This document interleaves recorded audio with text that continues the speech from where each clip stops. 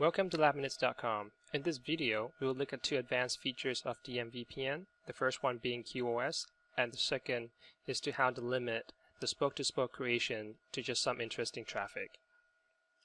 So we took uh, the previous lab, three router labs, and modified slightly with router R1, R2, and R3, with R2 and R3 being the spoke routers and R1 being the hub. At each spokes, we'll have 2 slash 24 subnets, as shown in the diagram, and behind R1, the hub, we have switch 1 loopback as our test subnet. So the whole DMVPN network has already been built. And let me just show you what we have configured so far already.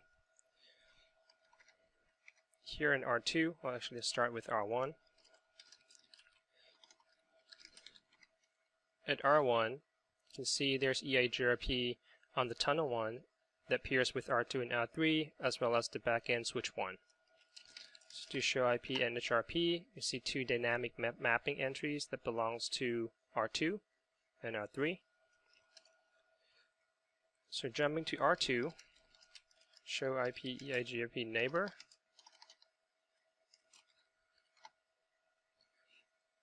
And here's the peer to R1. And if you look at the EIGRP routing table, here are the two subnets that came from the hub, and here's the other two that came from the spoke R3 subnets. Okay, just to show that, that we currently have connectivity, we're going to ping 33.0, so that's from loopback with the NHRP phase 3 or DMVPN phase 3 you can see the subnet entries being created and the R2 NHRP table. Okay, so all's good. We're able to establish spoke-to-spoke -spoke tunnel. And again, just to prove that, we do trace route to the R3 loopback 0 and all it takes is just one hop instead of going through R1. So here is our spoke-to-spoke tunnel. So you can see that by default, any kind of spoke-to-spoke traffic will bring up a spoke-to-spoke tunnel. What if that's not what you really want? Because every spoke-to-spoke -spoke tunnel might uh, create a load on the router and the spoke routers. So what you want is to limit the the spoke-to-spoke tunnel creation to just certain interesting uh, traffic. For example, let's take a look at our diagram here. Let's assume that L0, uh, loopback 0 and R2 and R3 is just data subnet, and loopback 1 and R2 and R3 are the voice subnet. So you might say that we want the spoke-to-spoke -spoke tunnel to be created just for the voice traffic, because I don't want it to go through the R1 for an extra hop before it hits R3. So well, I don't really care about the data, so the data can go through the hub. So in order to do that, first you need to create an access list. And again, let's assume that you have a nicely separated subnet between your voice and data, like we have here in our lab. So first we're going to go and create access lists just to match the, the, the traffic that you want to be considered interesting. And here we're just going to do access list 100 permit IP. And, and in our lab here, we're just going to do loopback 1 to loopback 1. 255, 172.16.34.0, 255. Okay. Next, you, you get under the tunnel interface, and the command that you want is IP NHRP interest. Here you can see none, which basically stops everything from creating a spoke-to-spoke -spoke tunnel, or you can associate an access list to it. Okay. Now let's see. Currently we only have a static mapping. Let's try and ping 1633. So let's try loopback 0 to loopback 0. Okay, so you can ping successfully. You can trace. And it takes a little detour to R1. And it doesn't matter how many times you traced it, it would not build a spoke-to-spoke -spoke tunnel. Now, if you try to do a trace for loopback 1 to loopback 1, so going from loopback 1 to 1634.1, try once, and then twice. You can see the second time, let's just take one hop, and that's when the spoke-to-spoke -spoke tunnel was already created. And if you look at our access list, 100, you can see there's one match. Okay, so anything that's not that does not match your access list will not cause the spoke-to-spoke -spoke tunnel to be created. Okay, and here's how crypto IPsec tunnel 4.5 is R2 and 4.9 is R3. Okay.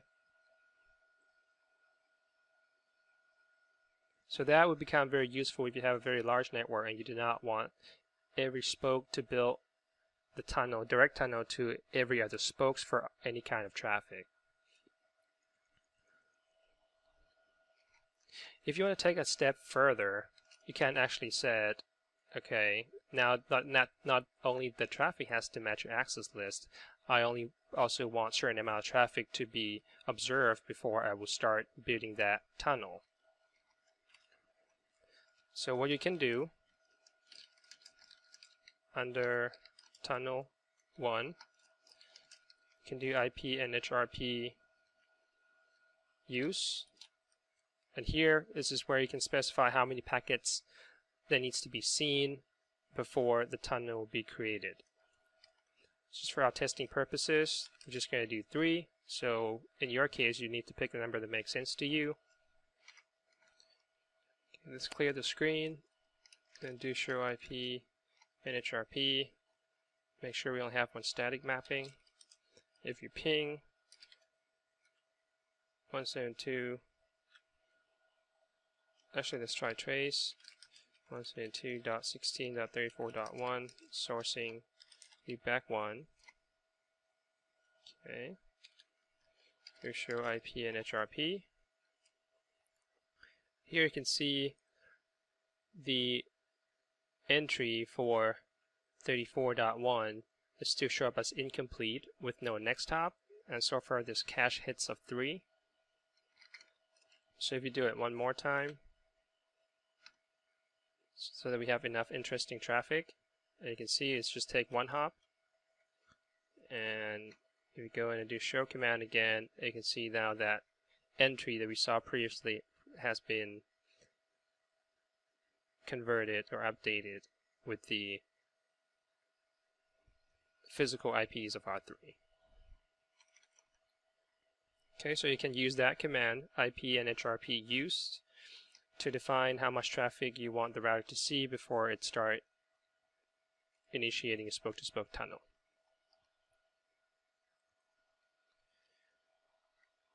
Okay, so the next features we're going to look at is QoS.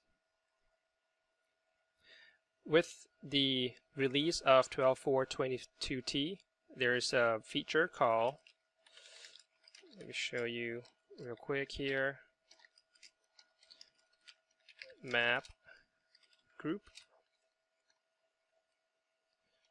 So it's IP NHRP map group is the commands. What it does is usually, since you only have one tunnel interface to deal with at the hub, if you do the conventional way with the service policy command, you can pretty much only attach or associate a single policy map to the interface, which means the same policy map will be applied of the spokes.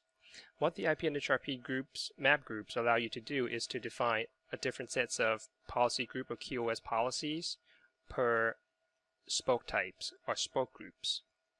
So you can create multiple spoke groups and then have a multiple or different QoS policy associated to it. So let's assume in our scenario that we have two spoke group here, a type, spoke type 1 and type 2 for R2 and R3 so now on R1, we, we are going to create a two different QoS.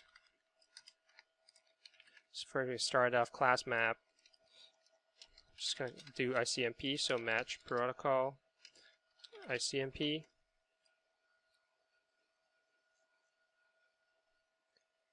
Wait for that to come back. And then we are going to create two different policy map, one per spoke groups.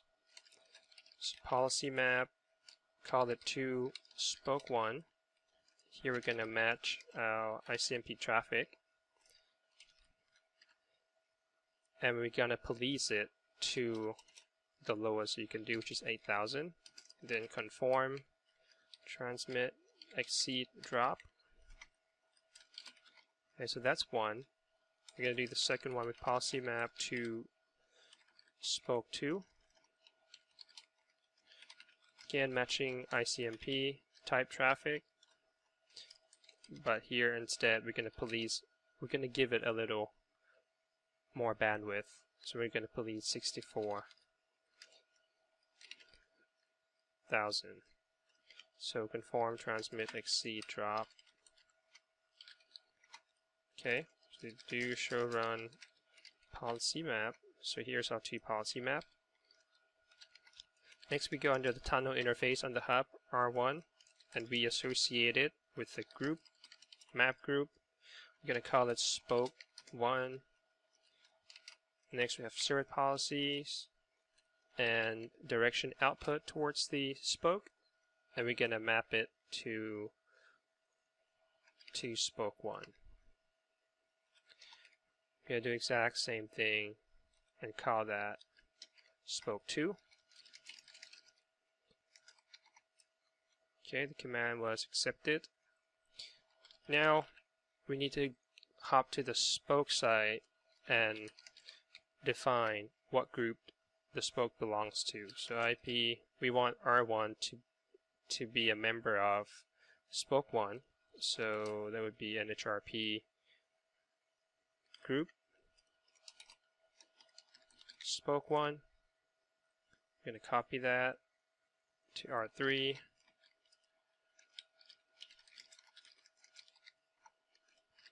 Instead, we'll have that as spoke 2. Okay, so now let's get back to R1 and see what has changed after we've issued those commands to the spoke. So now I can see when you do show IP NHRP, we have additional information as far as which group the spoke is a member of.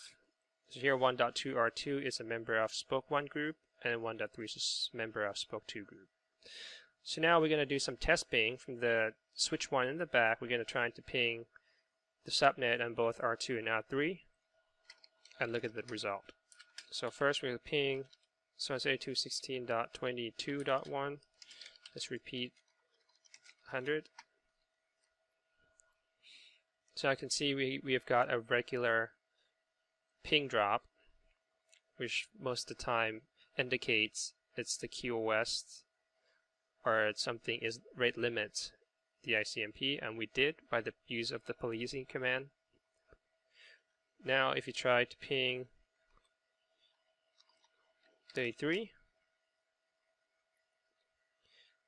you can see the ping drop happens less frequently, and that's because for the spoke group 2, we have reassigned it or reallocated a uh, bigger or higher bandwidth on R1. So to check that, can you show policy map?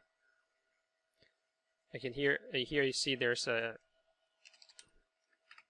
additional option with multi-point and you can just say output since we only have one tunnel and here's a tunnel 1 that maps to 4.5 which is R2 policy 2 spoke 1 we have 100 packets uh, seen because we ping 100 times. 93 of those packet was transmitted and 7 of those were dropped. Okay? So now if you scroll down here's the policy for spoke 2 that's uh, uh those apply to R3 again 100 packets with the bandwidth of 64 kilobits per second 97 of those packets were transmitted and 3 were dropped. So here you can see you can come up with two or multiple QoS policies for multiple type of spoke sites that you have even though you only have uh, a single tunnel interface to configure it.